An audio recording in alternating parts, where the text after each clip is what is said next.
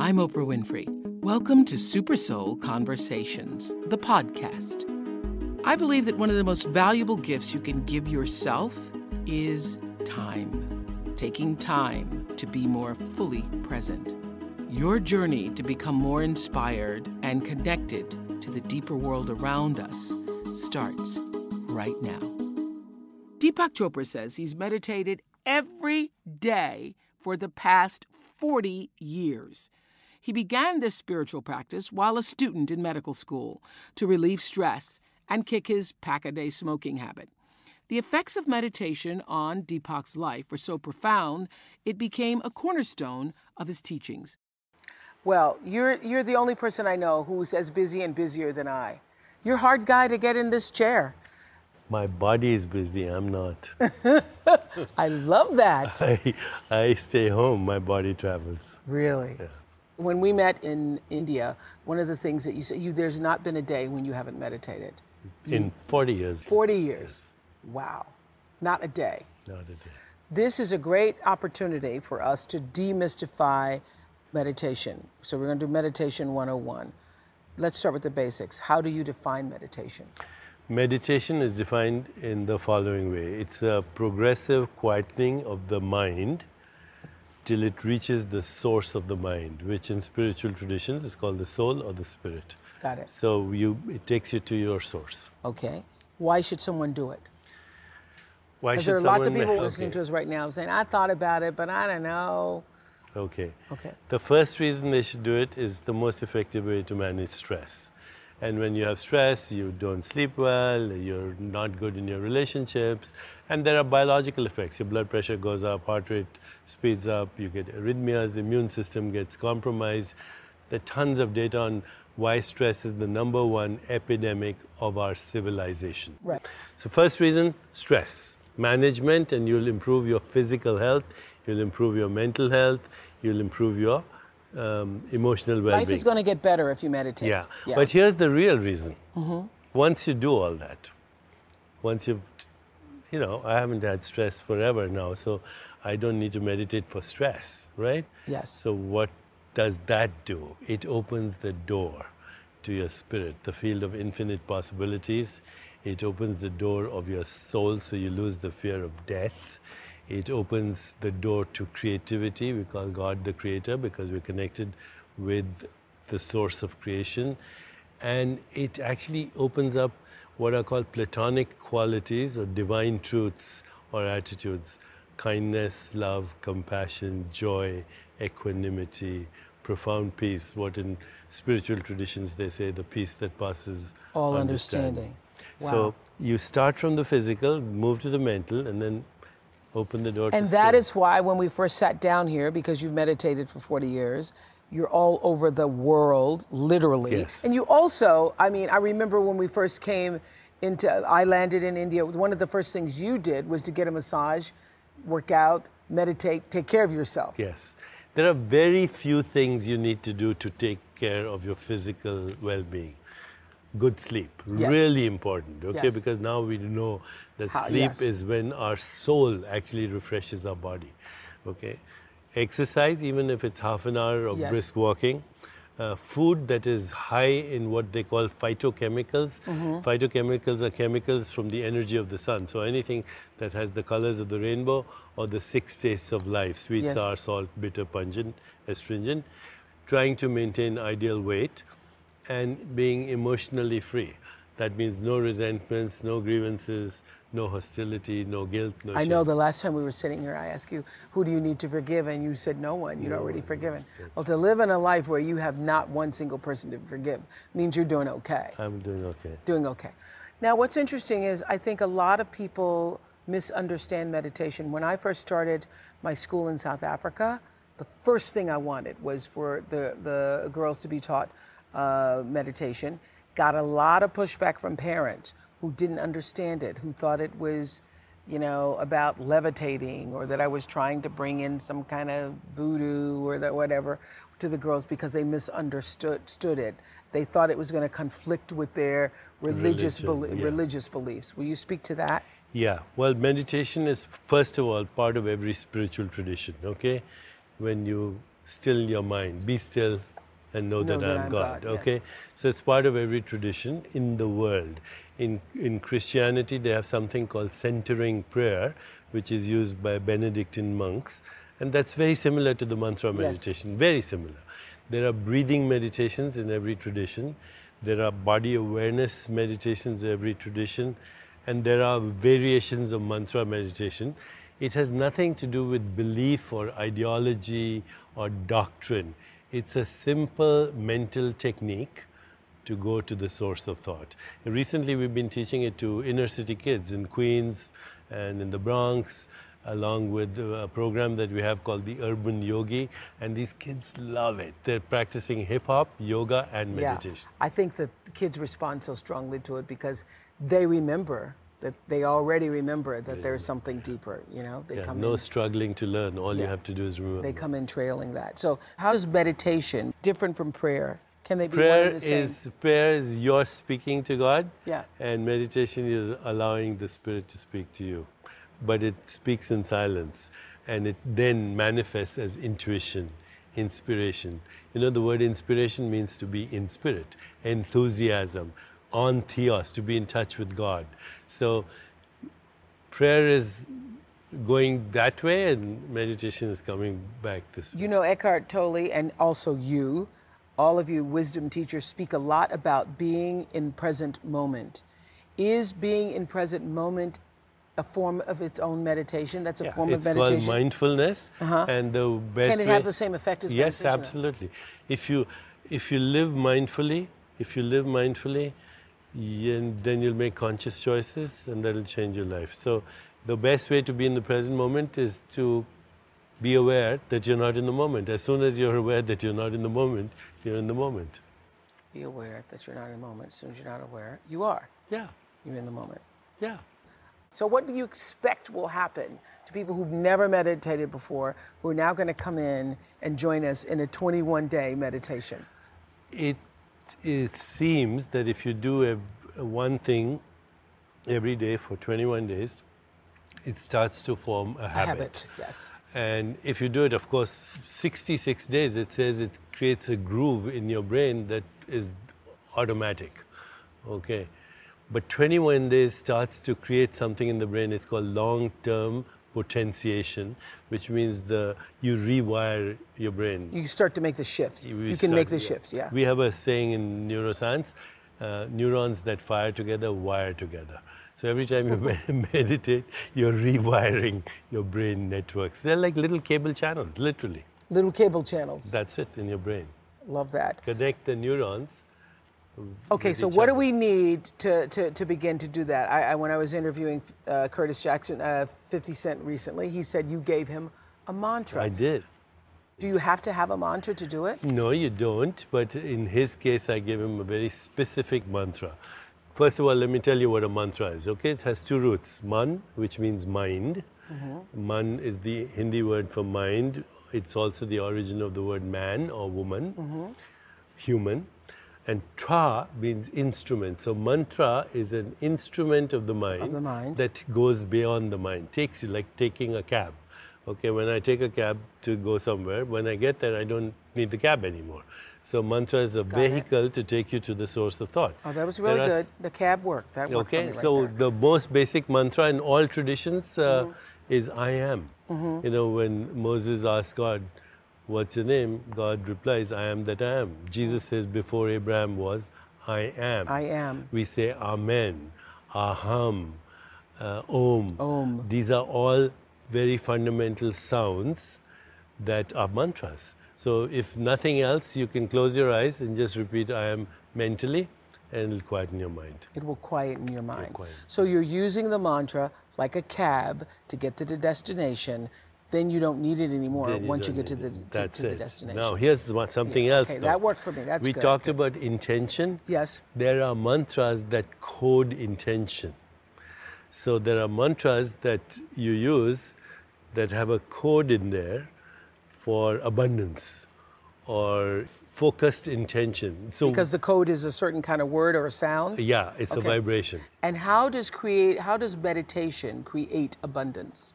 The specific abundance meditation opens you up to what we call abundance consciousness. So let's say you're feeling gratitude. Yes. That opens your heart Yes. and your spirit to the source of abundance, which is actually the source of abundance is the universe itself. So if you open yourself to abundance consciousness, then you create neural networks, literally connections between neurons that make you notice abundance, that make you feel grateful, that make you open your consciousness to opportunity where other people see, you know, a problem, you might see an opportunity. So what is good luck? It's opportunity meeting preparedness. Yes, yes. So what we're re- really doing is rewiring the brain in this meditation to open ourselves to this state of being where we live in abundance consciousness, not scarcity consciousness. Because if you're scared and you're living in scarcity consciousness, then that'll be the self fulfilling prophecy. But I thought that the whole purpose of meditation is to sort of is to clear them is for the mind to stop, and so you're just in the space you're just in the God space, right? Yes. That you're not in a space of you know uh, wanting anything or creating anything. That you're just in the God space. Okay, I thought that's what it was. That is true, but Okay. uh, now let me explain to you what you do in these meditations Yes. is that you introduce the intention, then you let it go. And then you use meditation to transcend, to get into the God space.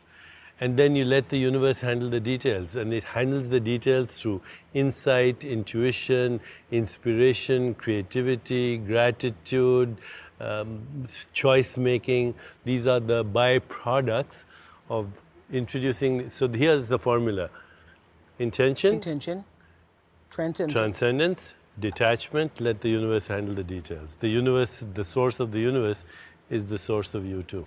And what's going to happen to me, you, all of us, joining in this force of a 21 day abundance meditation challenge? You will create a consciousness that will change the way you think, the way you feel, the way you behave, the way you socially interact, your personal relationships, all in the direction of abundance consciousness. That is what is going to happen to us at the end and of you this actually 21 rewire days. your brain.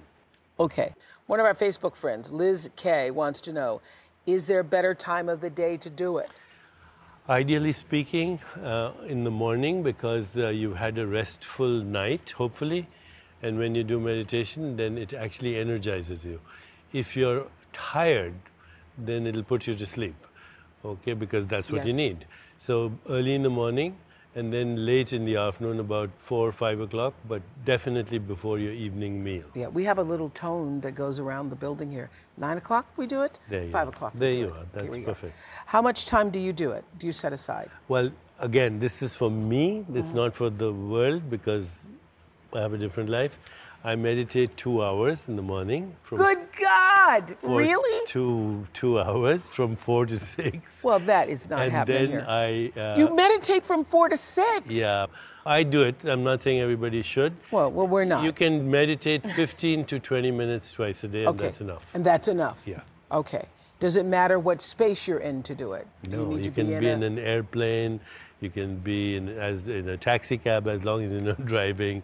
You can be anywhere. Just like you can think a thought anywhere. Yeah. You can meditate. You can meditate anywhere. Sharon M on Facebook has a list of quick questions, and I know many of other people have too. She wants to know sitting versus lying down. Preferably sitting because when you're lying down, you're likely to fall asleep. Om or silence? Um, Om is better. I am Om. So hum. You know, so is the sound of the breath. Okay, so when you inhale, you say so. When you exhale, you say hum. So so on the in breath, hum on the out breath. That's a fantastic mantra. So in the beginning, So hum. um, mentally, Yes, not out loud. Yeah. Okay. Soft music or sounds of nature or nothing? Sounds of nature, soft music are frequently used as additional aids, and we do that in some of our meditations. You'll see that in our 21 day challenge, but also um, sounds of nature. Deep breathing, focused on the breath or not? You can observe the breath, but you don't manipulate the breath. The breath by itself will get slower and deeper, and at a certain point when you transcend, it'll stop. We come into this life Breath with a breath. Okay, and we got that. leave this life with a breath, because we come with a thought, and then we go back to the source of thought. Very deep, Mr. Deepak. Deep, Deepak. deep Pak. Okay, that was a deep Pak moment. Okay, I love this one. Silence the thoughts or visualize your dreams when you're meditating. Do you silence it? Are we trying to silence See, the trying thoughts? to silence the thought is the thought. Okay? So don't try to silence the thought. But otherwise, if you don't do that, then the thoughts are just yakety yak. Yeah, but you see, if you leave them alone, they start to say to, To themselves, nobody's noticing me. Okay, so you don't try to get out of the thought because that is a thought by itself. But isn't in that moment sometimes it's good to notice that there they are, all those thoughts yakety yakking across your mind, and who is the observer? Because isn't that the space you're That's an, an analysis. The, the awareness of a thought is not a thought. It For sure. cannot be, right? Right, right. So just be aware of it. That's all. Don't try to. We'll teach this. This is part of our teaching. This you is know, part of the 21 teaching- day, yeah, okay. The 21 day. Okay. But there was another question there. So Yes, uh, or visualize your dreams. if you want to visualize your dreams, do it before meditation, not during meditation, because then you're activating the mind. In meditation, you want a quiet mind, not a turbulent mind. And even a positive mind can be a turbulent mind. Even the dreamy mind I learned to do that. Get the dreams out of the way. Because when I first go to silence myself, then here come up all the thoughts. So I just Yeah. let them come. Yeah. Let them come. Watch them. Watch like them. clouds floating across the sky. And then when when the mind has had its say, Yeah. chitty chat, There chitty you chat. go. There you go. There you go. Do you immediately just go into it though? I do. I would say after 40 years, yeah, I you can just go. I can stay in that place anytime. You can. I'm in. The, I'm there now. well, no, stay with me. I'm with you. I'm with you. I'm witnessing the whole thing. Both You're witnessing us. the whole thing. Yeah, both of us. Do you have to do those weird finger positions? This is what Sharon M also wants to know because we've seen, you know, people doing this or doing that or Very interesting questions, by the way. yes, Sharon Okay, very good. These finger positions are mudras, okay? Okay. Hand movements. You don't have to do them, but there's something very interesting that happens. So, for example, yes, if I have my hands like this, my breathing will be diaphragmatic. If I have my hands like this, it'll be chest. like what? Like what? Okay. Okay, this diaphragmatic, this chest, and if I make a fist, it'll all be here. So that's why people who are angry, they make fists and they don't breathe properly. They're all breathing from the upper chest. From here, From yeah. So there, th those are advanced meditations. There are lots of these mudras that accelerate what we call mind-body coordination. We're not teaching them right now, but maybe Yeah. one day we will. Should your legs be crossed or out straight? Uh, the most important thing is uh, you should be comfortable. So if you're crossing your legs and it's bothering you, you're not going to be able to meditate. Be comfortable. That's the only rule. What form of meditation do you practice? I practice uh, mantra meditation. I practice what I call sutra meditation, which we're going to teach. In, intention. I practice meditating on the body, on the breath, on mental space, on relationships, and actually, I also meditate on the universe and its origins. Of course you do. Tell me, how do you think the world is doing right now?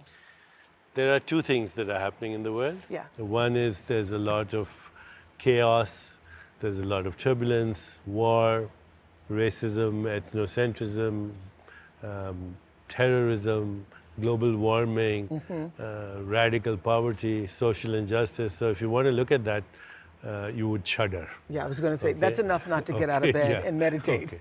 Okay. but then there's something else happening. Okay. And it's happening right now.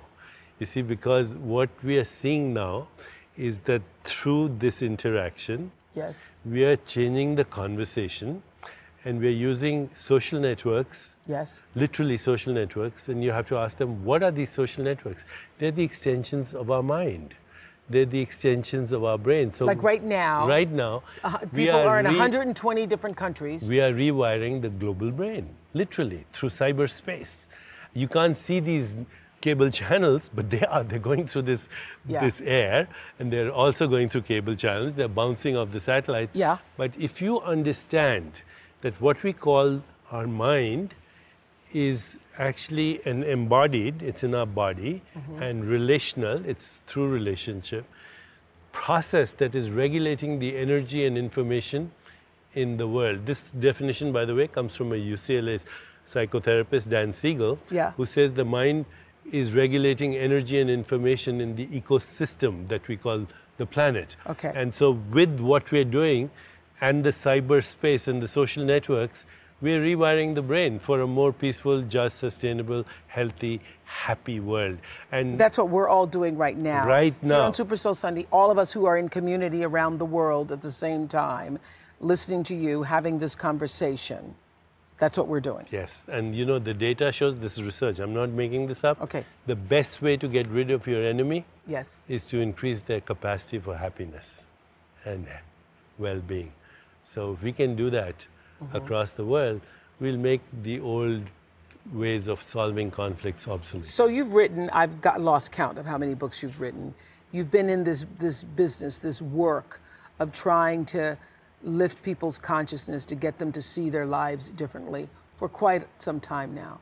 What is it you most now feel the urgency to say to people, to have them know for sure? I say that we are at a crossroads. It's our choice right this moment. Mahatma Gandhi said, You have to be the change you want to see in the world. So, one of the other things Isn't it hasn't it always been so though? Yes. I mean, is it any different than it was during the Transcendentals' time? Is it any different than it was Yes, during it the- is. It is. If Yeah. they had the technology, they wouldn't. With they, you know, Oprah has the technology. Yeah. They didn't have the technology. Yeah, we can So definitely have reach more the people. capacity to reach people, to reach tipping point, to reach critical mass, was never there as it is today. So that's the big difference. You know, even Jesus spoke within 30 miles of where he lived. Mm-hmm. Okay, but today, if something works, if it works, if it's no, if it's hokey, then it, mm. forget it. But if it really works, you can change the world because of this ability to communicate across the planet. How has technology and this ability to communicate across the planet changed the way you operated in your spiritual manifestation of the word? See, I would uh, often say I'll make two people happy today by giving them a little attention, affection, appreciation. And then they make two other people happy and they make two other people happy. Now I just put a hashtag, be happy, make happy, and soon you have an epidemic. A million Twitter yeah, followers. Yeah, Yes, you do. A, a pandemic of happy people all across the world. Uh-huh. So technology is certainly helping. When you are, are you though in in your lifetime amazed at our ability to span the bridge of, of, of our otherness with each other? I mean, in this, I mean, in the past ten years, in the past five years, our ability to We are creating touch- a new identity for ourselves, which is beyond our racial identity, beyond our national identity, beyond our ethnic identity, beyond our religious identity. We're becoming global citizens, and this is a great time because uh, as we expand our identity, we'll feel more for each other, which is really the true gist of spirituality. When I came to the United States in 1970, I'd never seen a TV in my life. And then fax machines and cell phones and internet, and now you can email and do meditations. I mean, this has all happened in the last few decades. Uh huh. Uh huh. And do you feel like we've had part of this conversation before? Do you feel like we are getting better as a species? Yes, we are, because we're becoming more aware, and I think it's the next stage of our human evolution. You know, there are only two uses we can put our imagination to. One is anxiety, which is a form of imagination, the other is creativity. And we have to choose this in order to transform the world. And I am seeing spontaneous evolution of what I call self organizing dynamic networks of karmically connected souls. So you have to say that again, Deepak. Self organizing, Self organizing. dynamic Dynamic. networks, these are social Got networks that. of karmically connected souls, people who have the same soul values or same values. And they're Ah. organizing themselves by themselves. And this is Oh, going to that's what this is. That's what this is community is. Right now, Someone actually said this on Facebook a couple of weeks ago. It's how wonderful it is to watch uh, Super Soul Sunday. I feel like I'm in a community of like minds. That's it. They're which is- karmically connected souls. Yeah, exactly what you just said. So tell us, now you've written two books. How do you write these books so quickly? You wrote God, you wrote God, A Story of Revelation, and now The Super Brain. Where, when do you find time to write? I'm on a plane a lot of the time.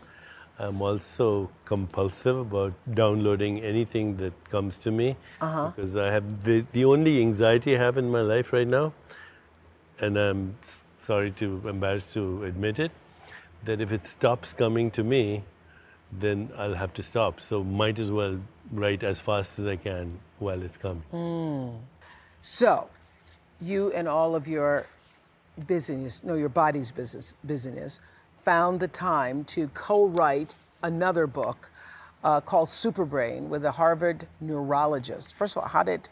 So, are you always hanging out with neurologists? No, I was at TED Med, Yes. which is the TED medicine Yes. Medical aspect of TED. Yes. And we met in the men's room. And I said, Yeah. I said to him, he's a neuroscientist. He's discovered over a hundred genes, and he's the This world book ex- started in the men's room. in the men's TED room. Yes. Okay. And, okay. So I said to him, Rudy, do you realize that our genes are coding our karma? And he looked at me as if I was totally weird. And then afterwards, he came out and he said, "Let's talk." And I discovered that actually, this is what you discuss in the men's room. yeah, that's we, and we ended up doing this book because the basic thesis of this book Uh-huh. is you're not your brain. You are the user of your brain, and the user of the brain is your consciousness, your spirit. And if you learn to use the brain correctly, you can rewire. You know, this is what they call a handy model of the brain, uh, you know, other Yeah. scientists. So this part is my reptilian brain, this part is my emotional brain, this part is my creative cortical brain. We can actually influence all these parts of our brain to create a healthier life for us and change longevity, creativity, and find our own And that's what the book is about. Yes. It's about unleashing the power. Yeah. Yeah, it has a section called the enlightened brain. Enlightened brain. Is this the kind of thing that gets you, makes you get it? I love it. I Yeah. love it. It makes me ecstatic. You know, just to talk to Rudy makes me ecstatic yeah. because we both kind of, you know, we're kind of asking ourselves, can we ever understand the mind of God? That was a favorite quote of ours from Einstein. Yes. I want to know how God thinks. Everything else is a detail. That's from Einstein. and I think now we have the technology to kind of not ever figure it out, Yeah. but get pretty close. Okay. One of the myths you debunk is that the brain's hardwiring can't be changed. How do we then begin to train our brains if we're predisposed to certain ways of thinking? Well, we are starting right now with our 21 With day our 21 challenge. days, that's part of what the, we're that's we're changing the hardwiring of the brain, and you know certain parts of the brain get activated that were never activated. So we're going to reshape our brain. We, you say we can reshape our brain We by personal growth. The actual structure of the brain, Good God. I do mean. and that through your mind and through your consciousness and through your spirit. if you choose to grow, uh, you are really what evolving or guiding your own evolution. Yeah, this is our next phase of our evolution. Uh, that we are consciously, you know, that when they talk about Darwinian evolution, it was random, Yeah. natural selection. Human evolution from now on can be conscious evolution. What are you most proud of in all of your work? Oh, my grandchildren. Okay. Other than your grandchildren, what are you most proud of in all of this work? This work. In all of this, This work, body uh, of what work. I'm proud of is bringing science into spirituality. Because, you know, it, traditionally people say faith and reason. Yes. Well, it's silly. Why can't you have both? You know, if I say, do you have faith in gravity? You'd say, well, that's a ridiculous question, Yes. right? So you shouldn't have, have faith in spirit. You should have experience. You should have knowledge. You should be able to say that it works. And now we can do all those things. but science is God. Science is how God thinks, yes. Yes. We, that's really good. God is a mathematician, a physicist, a biologist, all at the same time. Absolutely. Yes. Yeah.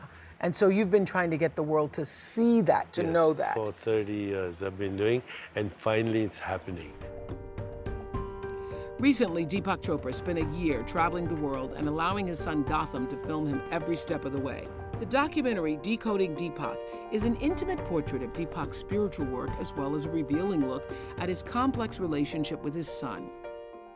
In uh, Decoding Deepak, first of all, you had to cooperate with Gotham to what do that. What else could I do? What else could you do? You do what your kids want to do. yeah. He says that you have now, uh, now that you're older, you get more anxious about getting the message out. I do. Um, if there's anything about me that's restless, it's about saying, you know, let's wake up and change the world. We can all do it together.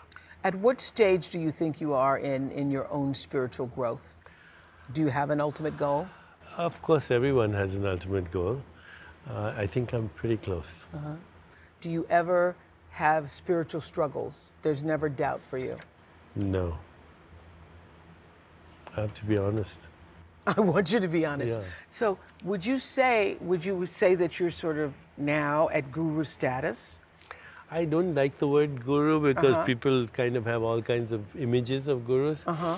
I feel I have the status where I can live my truth, that I have no anxiety about what people think or say about me, whether it's good or bad. That's why I let Gotham do the movie, because you know there's a public Deepak, there's a private Deepak, there's a Deepak to his family, and then there's the real Deepak. Mm-hmm. And so it's all right to show all those aspects, mm-hmm. which is Gotham did very skillfully. Uh, there's a lot of skillful editing, so yes. he shows me on the BlackBerry all the yes. time, which I'm not. Uh, but that's fine. Oh, that's the skillful editing. That's the, skillful that's the part I most believed.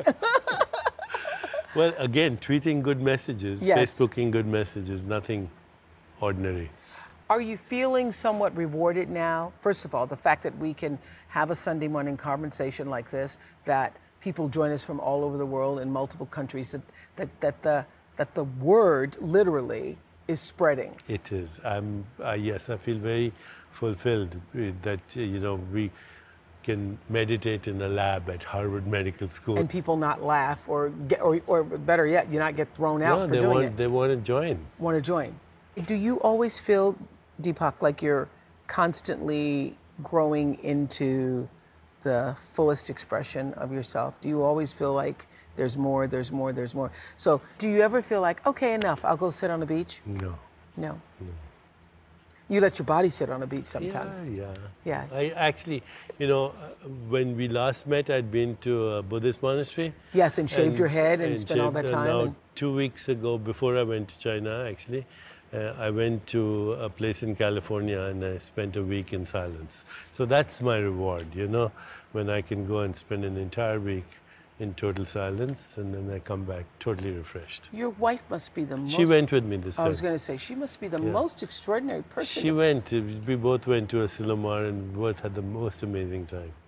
So you both went yes. to we spend a week in silence? Yes and had the we most take long walks, go by the beach, never say a word. But you know, without a word, we were communicating. Without even gestures, we just knew what was happening in the other.